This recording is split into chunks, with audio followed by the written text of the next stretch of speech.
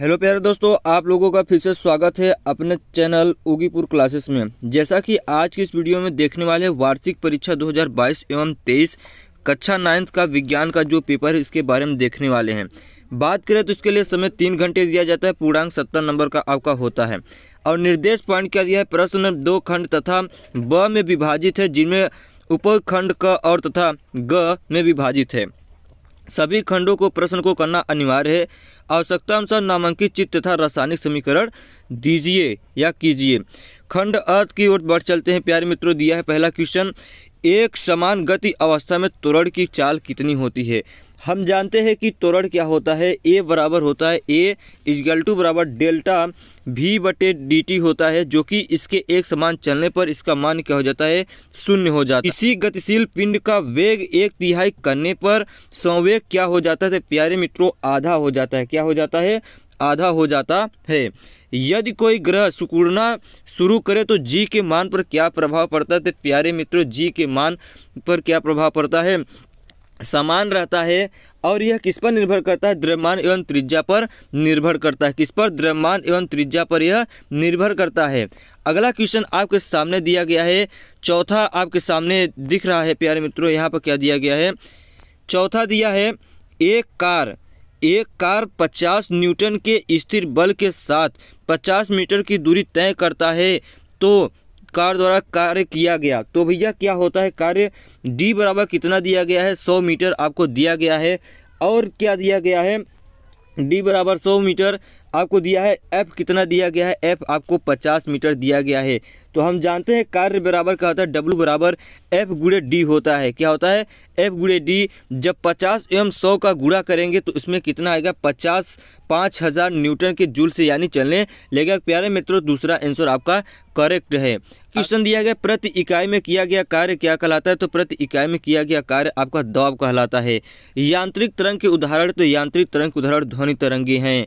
एकांक समय में पूर्णांक होने वाले दोलन कुल संख्या को क्या कहते हैं? तो भैया, आवृत्ति कहते हैं। जयमंडल के भाग को क्या कहते हैं? जीव स्थल और वायुमंडल, जिसमें जीवन का क्या हो? व्यापन हो से जयमंडल ही कहा जाता है। नवा क्वेश्चन दिया है कि वायुमंडल में ऑक्सीजन किसके द्वारा पुनः उत्पन्न होता है? तो भैया, किसके द्वारा? जीवाश्म ईंधन प्रकाश संश्लेषण शोषण के द्वारा। तो भैया, यहाँ दिया गया है, प्रकाश संश्लेषण द्वारा उत्पन्न होता है। निम्नलिखित में से कौन सी खरीफ की फ़सल है तो मूंगफली धान धान जल का क्वथनांक क्या होता है? तो जल का क्वथनांक 100 डिग्री सेल्सियस होता है। निम्न में से अशुद्ध पदार्थ कौन सा तो निम्न में से कौन सा अशुद्ध पदार्थ तो कैल्शियम एक अशुद्ध पदार्थ है बाकी शुद्ध शुद्ध पदार्थ हैं। तो यहाँ पर दिया गया है वह तत्व तेरहवा क्वेश्चन वह तत्व जो धातु होते हुए भी कमरे के ताप पर द्रव होते हैं। तो भैया वो कौन सा है? पारा होते हैं। सीसा का प्रतीक क्या होता है? तो सीसा का प्रतीक प्लम्बम यानी पीबी होता है। अमोनियम तत्व में क्या होते हैं? हाइड्रोजन एवं कोलिनियम की संयोजकता यानी एम की संयोजकता कितनी होती है? इसकी कितनी संयोजकता होती है? प्लस टू होती है। यहाँ पर दूसरा आंसर राइट हो जाता है। अगला क्वेश्चन आपके सामने दिया गया सत्रहवा, प्यारे मित्रों। डीएनए का क्रियात्मक खंड किसे कहते हैं? डीएनए का क्रियात्मक खंड जीन को कहा जाता है। जो द्वितीय वृद्धि के लिए उत्तरदायी होते हैं तो उसे क्या कहते हैं? उसे क्या कहते हैं? जाइलम द्वारा जल को चढ़ाया जाता है। फ्लेम द्वारा वृद्धि किया जाता है। तो आपका करेक्ट आंसर इसका अठारहवा का टू हो गया। होगा। वर्गीकरण के आधारभूत मूल इकाई क्या है? तो भैया, वर्गीकरण की मूल आधारभूत उन्नीसवा क्या हो जाएगा? दूसरा होगा जीन्स। चमगादड़ किस वर्ग के जंतु होते हैं? जो चमगादड़ एक क्या होता है? स्तनी पक्षी होता है, जो कि क्या देता है? बच्चों बच्चे देते हैं और उसे बच्चों को दूध पिलाता है। आगे क्वेश्चन की ओर बढ़ चलते हैं। यहाँ पर लघु उत्तरी क्वेश्चन की ओर दिया गया है। पृथ्वी के गुरुत्वाकर्षण बल के अंतर्गत अंतर्गत मुक्त से गिरती हुई वस्तु के गति का द्वितीय समीकरण लिखिए, जो कि आपको दो नंबर देने वाला है।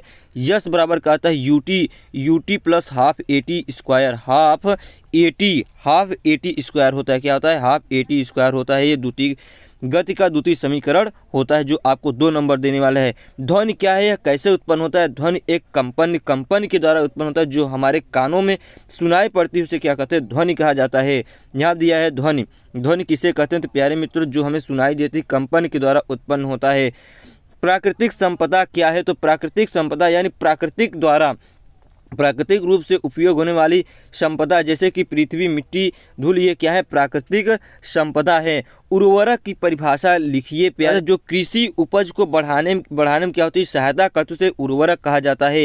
एक किलो वाट घंटा से क्या तात्पर्य होते प्यारे मित्रों, एक किलो वाट घंटा से तात्पर्य है कि एक किलो वाट एक यह विद्युत ऊर्जा की मात्रा है जो एक किलो वाट की बिजली को विद्युत परिपथ में घंटे घंटे में खर्च होती है। एक किलो वाट प्यारे मित्रों, इसे आपको कर लेना है। इसका इसका चार नंबर का गणना बताना है। प्यारे मित्रों, इसको अच्छी तरह से आपको कर लेना है। अगला क्वेश्चन बता दें। यहाँ पर क्या दिया गया है? एक किलो द्रव्यमान एक किलो द्रव्यमान पत्थर की 20 मीटर प्रति झील पर 50 मीटर की दूरी तय करने के बाद रुक रुक जाती है पत्थर पर बर्फ़ जलने के घर्षण बल जो कि आपको छह नंबर देने वाला प्यारे मित्रों इसे आपको कर लेना है।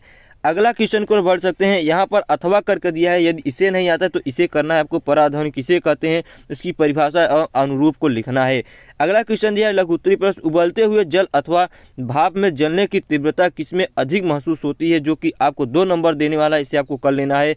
अगला दिया निलंबन तथा वास्तविक वास्तविक विलयन के कड़ों का आकार क्या होता है, इसे भी आपको कर लेना है, जो कि आपको दो नंबर देने वाला है।